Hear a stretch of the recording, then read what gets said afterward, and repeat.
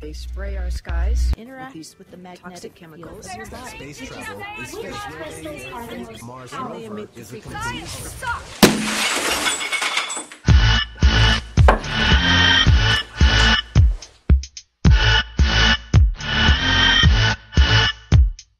Hi, I'm Rich Lund. This is Debunk the Funk. Let's get into it. Why do the seasons change? This is a question with a very well understood answer that you're likely familiar with. As the Earth rotates while orbiting the Sun, at any given time, half of the Earth is going to be facing the sunlight, while the other half is facing the darkness of space. Hence, night and day. But the axis of the Earth's rotation is at an angle, approximately 23.5 degrees. This angle is the direct cause of our seasonal changes. As the Earth orbits the Sun, for half of the year, half of that trip, the axis of rotation is going to be more pointed towards the Sun in the northern hemisphere and pointing away from the Sun in the southern hemisphere. This is the half of the year from the first day of spring until the end of summer that the northern hemisphere receives more daylight hours than nighttime. It is the most extreme on the summer solstice, the first day of summer, the day when you receive the most sunlight hours. And also because during this period of time the northern hemisphere is receiving more sunlight energy, this is why during those seasons the temperatures tend to be warmer. The opposite is true for the northern hemisphere's winter and fall seasons. It is during this half of the year that along the Earth's orbital path, the axis of rotation is pointed away from the sun. And if you followed all of that, then you also immediately understand that everything I just said about the northern hemisphere, well, during those same times of the year, the exact opposite would be happening for the southern hemisphere. So on the first day of winter here in Michigan, well, that's going to be Sydney, Australia's first day of summer. With all of that in mind, how does the flat earth idea try to handle the seasons? How do they try to explain them? In the flat earth model, there's a spotlight sun, and it's relatively close to the earth. It moves around above us in a circular motion, and if the light from it is hitting you, then that's day, and if the light doesn't reach you, then that's night. Already, when first examining this idea, plenty of questions naturally arise. What is the sun? What material is it? What's responsible for its energy output?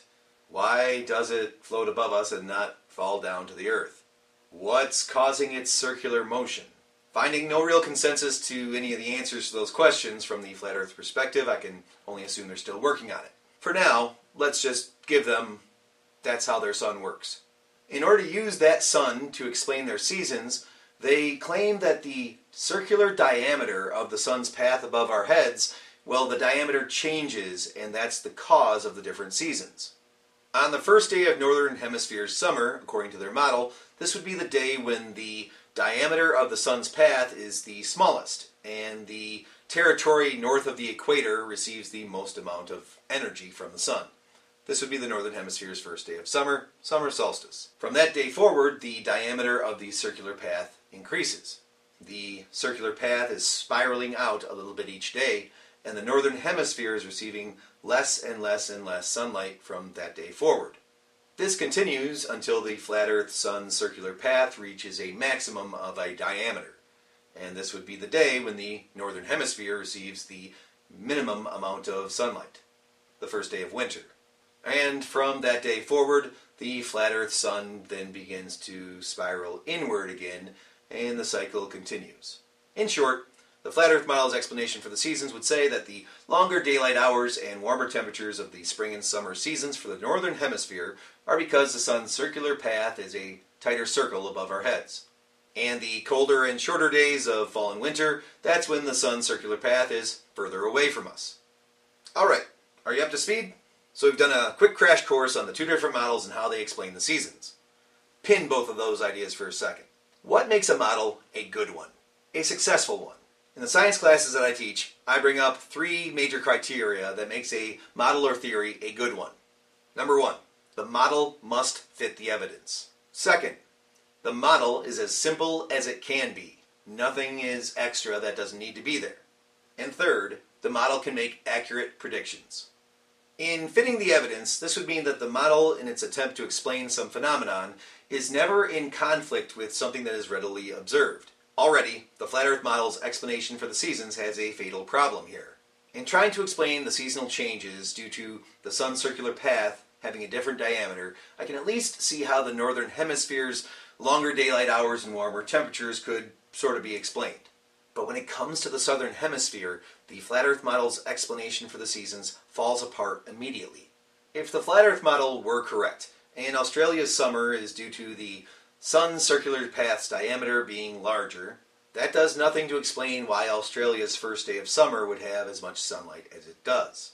If we look at a flat earth azimuthal map, here's an image that shows where sunlight would be hitting on the northern hemisphere's first day of summer at some time during the day. Nothing looks terribly in conflict with their idea. But in the southern hemisphere, on their first day of summer, here's what the flat earth sun would have to be doing according to their azimuthal map and somehow the spotlight is able to reach its light in all the places that are yellow, yet all the places that are not cannot see the sun. Do you see any issue with that? How can those who are here and here and here be able to see the sun, but those who are closer to it, here, here, and here, not be able to see the sun? Compounding this further, no matter the season, a day is still 24 hours. So if the flat Earth sun's circular path has the largest diameter around December 21st, it must travel that circular path faster than six months later when the path is the shortest. And in the southern hemisphere, somewhere like Australia, this would be blatantly noticeable. The apparent speed, though, of the sun across the sky is the same no matter where it's observed over the globe 0.25 degrees per minute, or if you prefer, 15 degrees per hour. From the get go, already the flat earth model is in conflict in multiple ways with things that can be readily observed. But let's now shift and look at the third criteria of a good model the ability to make accurate predictions.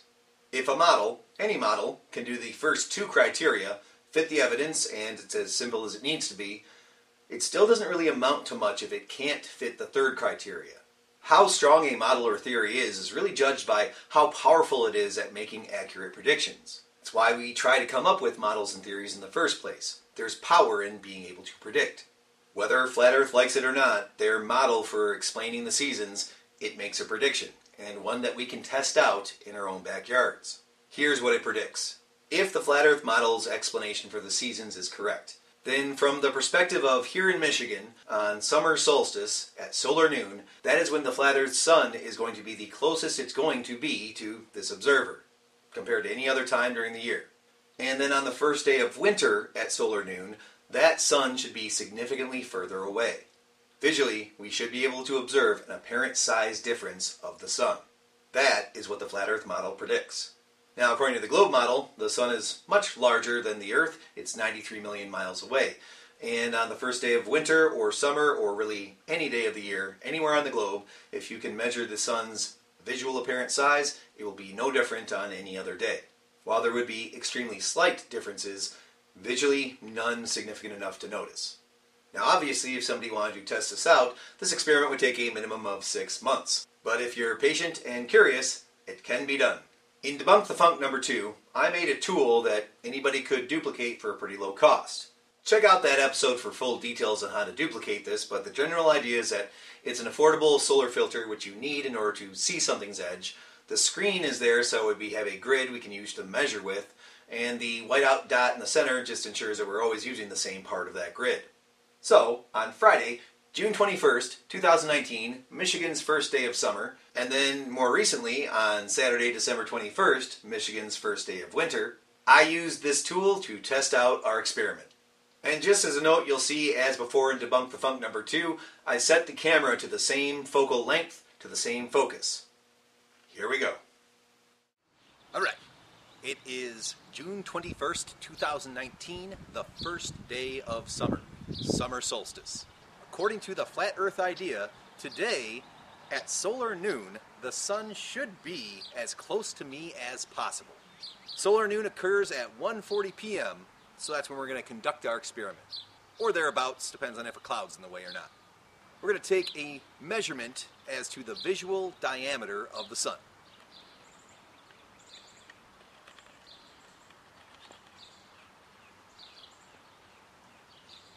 Okay, just as before in Debunk the Funk number two, I'm going to turn the camera so that way it is all the way focused, zoomed out, same focal length then as in Debunk the Funk number two. I'm going to turn the camera on now. And then I'm going to point it at the sun. Find the sun here. Oh, there it is.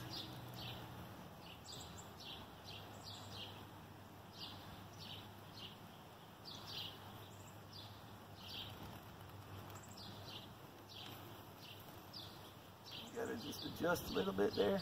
Get it on the right hand side of the screen. Okay. Now we take the measurement.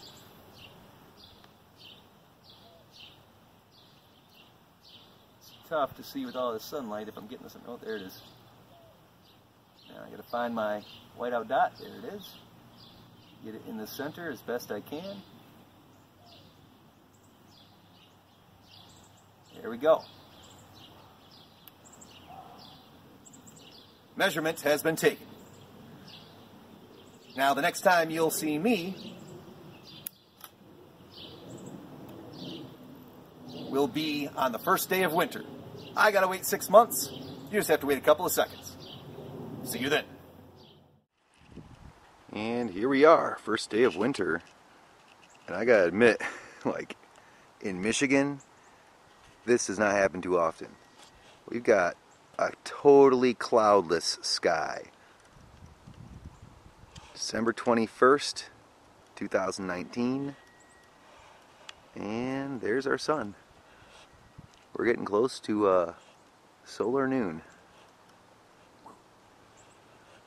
Almost time to do it. Solar noon today is 12:35 p.m. in my location. We're at about 12:34 right now. So I'm going to turn the camera on. Just as before, going to the full focal length. So we are fully in the same position as we were first day of summer. And for Debunk the Funk number two, find the sun. Oh, hit record. And then point it towards the sun.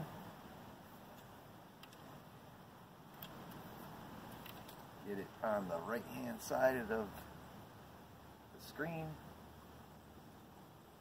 And now, with our instrument, let's take the measurement. Where exactly that was at. Focus in more again. All right. There, I'm seeing the sun on my screen. There's the sun now. Okay, solar noon on the first day of winter. December 21st, 2019. We have our measurement. All right, let's analyze the data. And just so we're clear, this was happening now that we're done, 1236, so yep, we hit that right at solar noon. All right, let's look at the results. On the left, here's the sun at solar noon on the first day of summer here in Michigan, summer solstice. And on the right, from the same location in Michigan, here's the sun at solar noon on the first day of winter, winter solstice. The visual diameter of the sun is unchanged. If the flat earth model was correct, then it predicts that the visual difference of these two images should be significantly different. The sun is definitely much closer in one than the other according to their model. Yet there is no visual difference in size. Now, while we're at it, because we use the same camera with the same focal length and the same measuring tool as we did in Debunk the Funk number 2, we can compare those images to these new ones. These are all in Michigan as well. On the far left, this is the sun right after sunrise. In the middle, that's at solar noon.